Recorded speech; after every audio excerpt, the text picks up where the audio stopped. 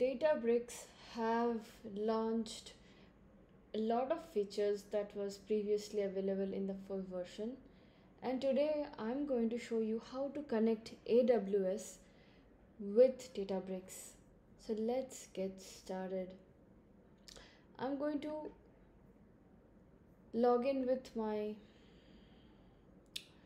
previously uh, created account so I'm going to show you so you have to enter a code actually and then you'll be taken to this workspace. And as you can see we have so many features that was not available before.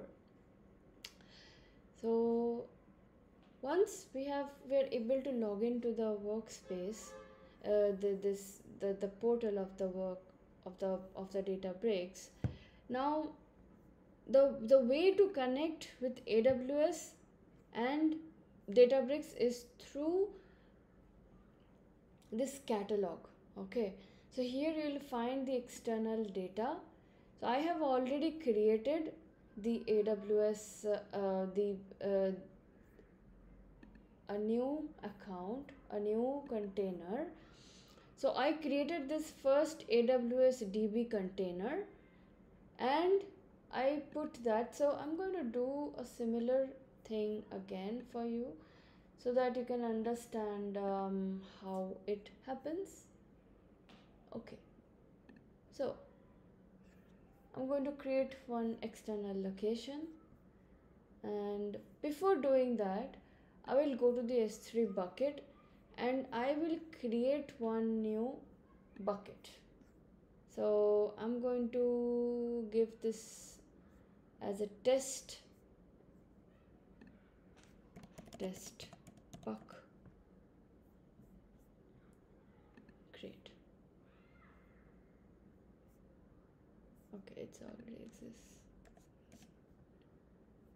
Okay let's see. Okay so so this is created and uh, what I'm going to do is that I'm going to take this name and I will go back to the catalog and so go back to the to the catalog and external data create external location then next then s3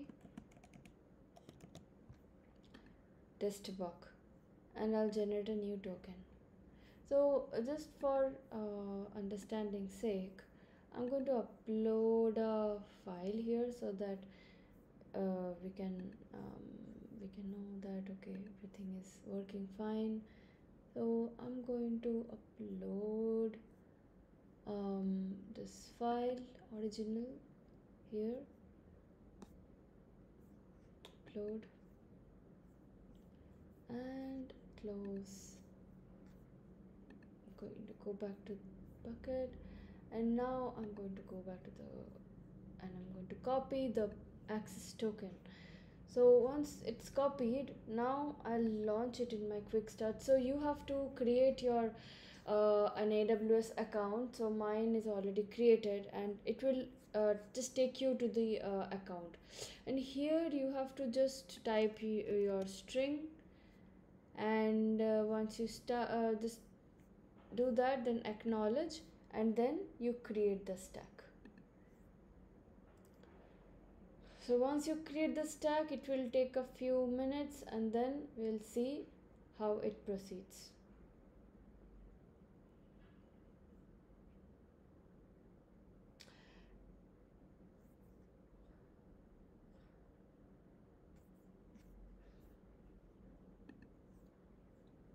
So as we can see it has already started creating the the giving the access roles here creating the function. So CloudFormation does everything. We don't have to take care of uh, anything here.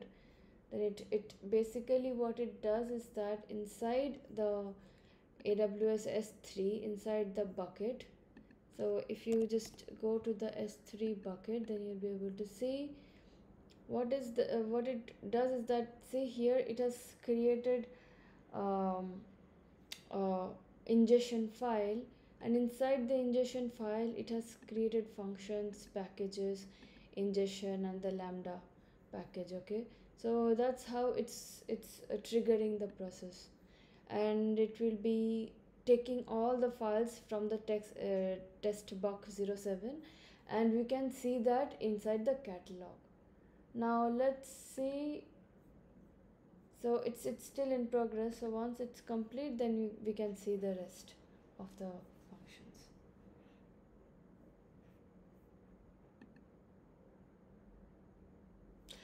So just um, I'll show you what I have already done with my previous um,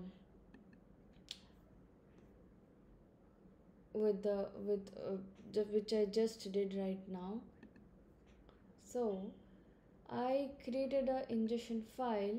And so when I'm when you go to the catalog if you go to the external file location here I already had a s3 ingestion file which one is uh, which is this one. And here if I go to the um, browse then I can see that three files had been uploaded. I did this a while back that's why you can see. And when I am going uh, to the to the notebook I can actually see all this by just uh, triggering an ls and I can see all the three files. So so when we are done uh, done with this one we can we can do the same. So so now we can see that it's complete. So if we go to the ingestion if we go to the catalog let's see. Okay so it has created another uh, another location in the catalog which is the test box 07 and if we log into that if we browse we can see that the original CSV can be visible. And now if I create a notebook and I am trying to do a percentage fs I'm just going to copy the one that I have already done. Okay.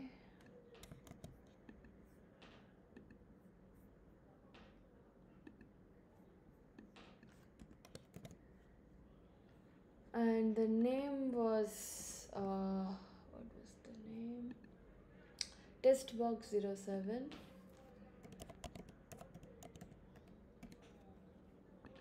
so it will take some time for uh, the, the server to spin up. Then we can see.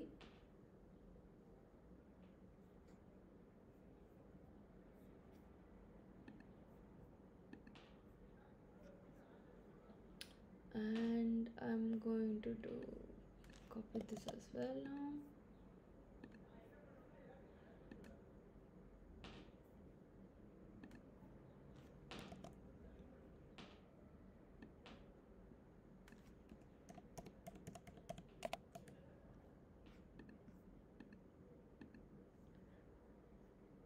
okay what's wrong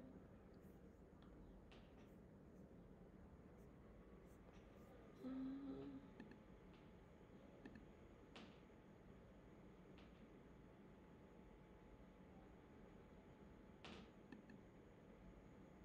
okay exceeded. Okay i think uh, probably that's because i have uh, there is another workspace that is also running. Probably that's why it was not able to uh, take it. So let me do something. Let me just create uh, do it here. I'm sorry not this uh,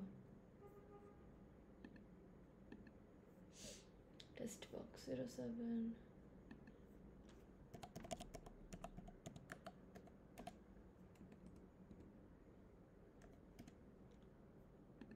okay let's see if it give, gives me the same error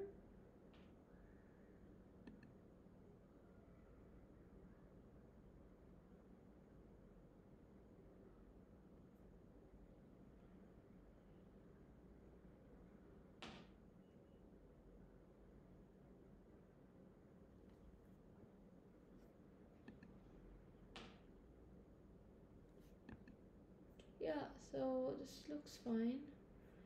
And here I'm going to um,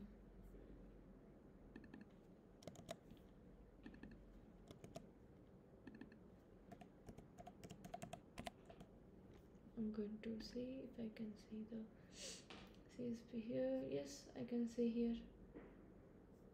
So this is how you connect your AWS with Databricks within the new Databricks community edition. Thank you so much for watching